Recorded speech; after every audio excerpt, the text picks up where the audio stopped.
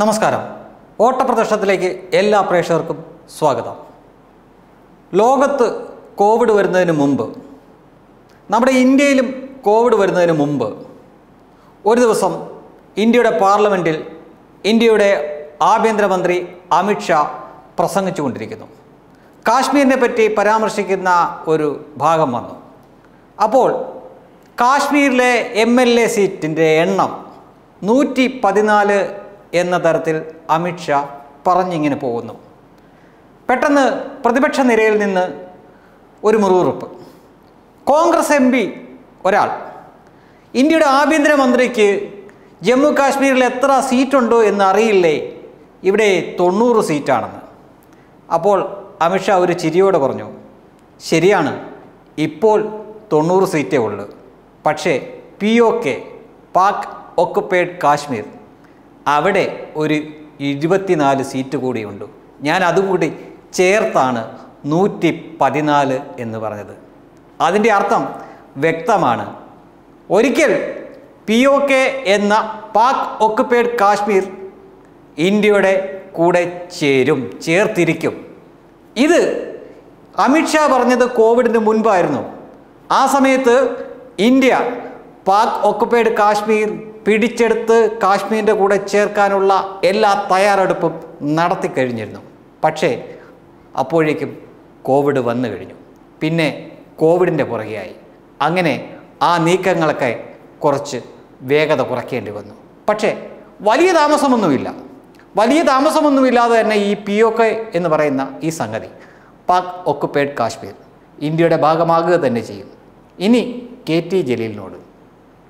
ആ പാക് ഓക്കുപൈഡ് കാശ്മീരിനെയാണ് താങ്കൾ ഇന്ന് ആസാദി കാശ്മീർ എന്ന് വിളിച്ചത്.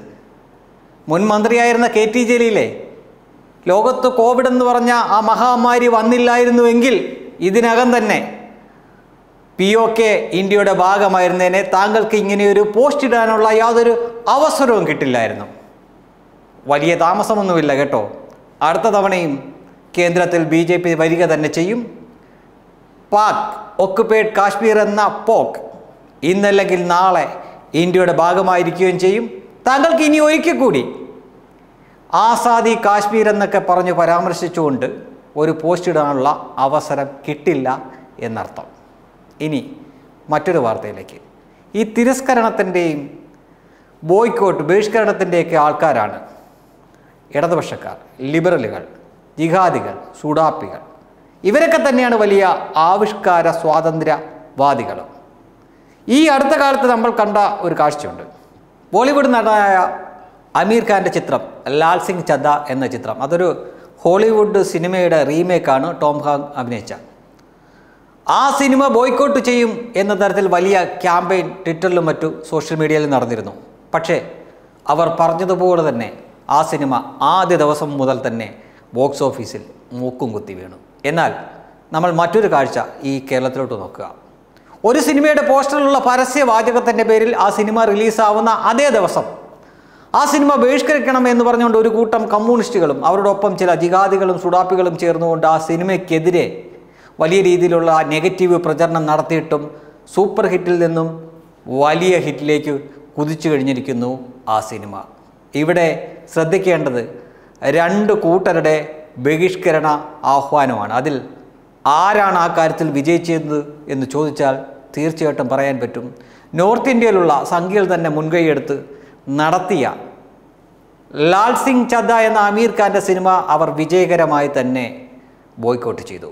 എന്നാൽ ഇവിടെ ഈ ചെറിയ കേരളത്തിൽ കുഞ്ചാക്ക ബോബന്റെ ഒരു സിനിമ ബഹിഷ്കരിക്കാൻ വേണ്ടി ഇവിടെയുള്ള അന്തംകമ്പികൾ പറഞ്ഞിട്ട് പോയി പണി നോക്കാൻ പറഞ്ഞു ജനങ്ങൾ. അതാണ് വ്യത്യാസം. പഴയ ഇന്ത്യയല്ല പുതിയ ഇന്ത്യ എന്ന് ഇനിയെങ്കിലും നിങ്ങൾ മനസ്സിലാക്കുക. ഇനി ഇന്നത്തെ ദിവസം ദേശീയ ശ്രദ്ധ നേടിയ രണ്ട് പേരുണ്ട്. ഒരാൾ നല്ല കാര്യത്തിനൊന്നുമല്ല അത് തീർച്ചയായിട്ടും കെ ടി ജലീലാണ്. കെ ടി ജലീലിനെ ഒരു രാജ്യദ്രോഹി രാജ്യ വിരുദ്ധൻ എന്ന തരത്തിലാണ് ദേശീയ മാധ്യമങ്ങളൊക്കെ അവതരിപ്പിച്ചുകൊണ്ടിരിക്കുന്നത്. അവിടെ വലിയ ചർച്ചയൊക്കെ നടക്കുന്നു. അതിനൊപ്പം തന്നെ ഇവിടെയുള്ള ബി ജെ പിയുടെ വക്താവ് സന്ദീപ് വാര്യർ.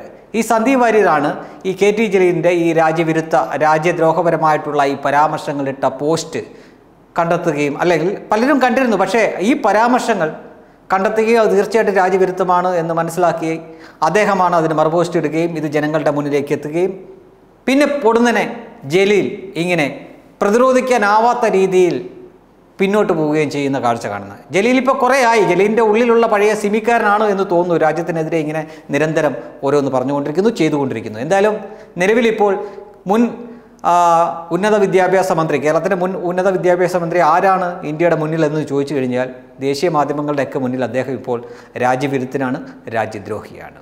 എന്നാൽ സന്ദീപ് വാര്യർ ഇന്ന് ദേശീയ ഹീറോയും. Web desk Tatwamayi news.